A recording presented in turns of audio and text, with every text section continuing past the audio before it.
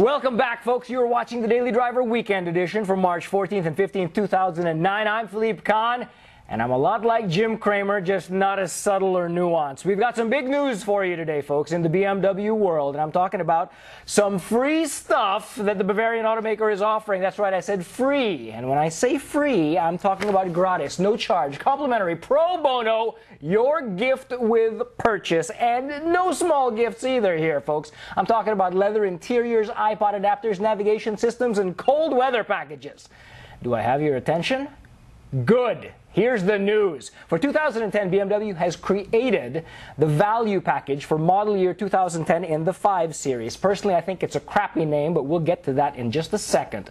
For 528 and 535i models, this value package includes a leather interior and an iPod adapter. On 528xi, 535xi, and 535 wagon models, this includes a leather interior, iPod adapter, and a cold weather package. Finally, for a 550, this value package includes navigation system, and an iPod adapter. We're talking about between $1,800 and $2,500 worth of stuff, folks. And the cost of all this? Zero. Zippo. Zilch. Nada. Nothing. Nunya. Nunit. You can look at this a couple of different ways, folks, and so let me allow you to slice, let me let me slice and dice this for you here, just so we can dissect this. On the one hand, you can say that BMW has increased standard equipment. On the other hand, you can just as validly say that they have cut prices. There is no price increase between the 2009s and 2010s, and yet 2010s come with a lot more stuff. So, some smart savvy buyers out there might say, "Aha!"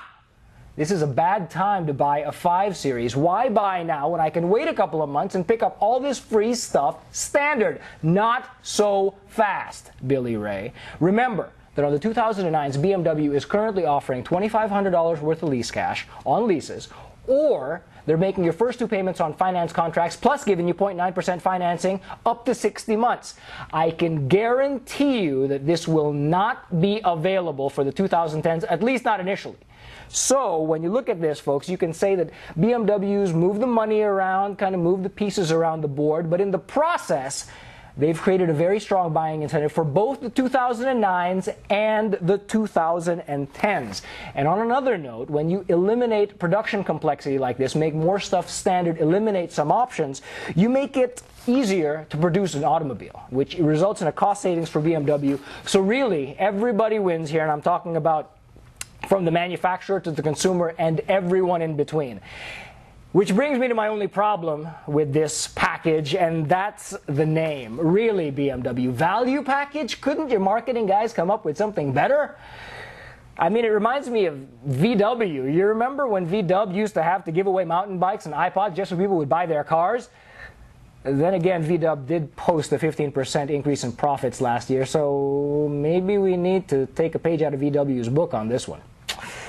All right, folks, let's shift gears here. I just feel compelled to take a moment to comment on what's been happening in the real world with regards to Jim Cramer and Jon Stewart. You've probably seen Stewart taking Cramer to task lately for all the bad advice he's given out in a very short span of time, and that did hit a nerve with me, quite frankly, because I, I got to admit, I identify with Cramer. I mean, you know, no, I'm not on a major network. No, I'm not giving out financial advice, but I do get up here and play the fool and purport to know what I'm talking about about and, and try to, you know, and for many people, what I'm talking about is going to be their second biggest purchase they make ever.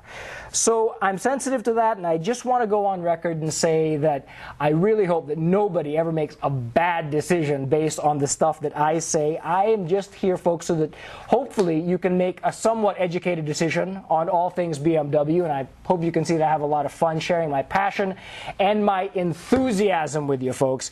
It's no secret we're in something of a mess these days with regards to the financial markets. I'm not a genius in that regard. I have no idea how we're going to get out of this or when. But I do know that I've got a camera, a couple computers, a Blackberry, a desk, and a voice.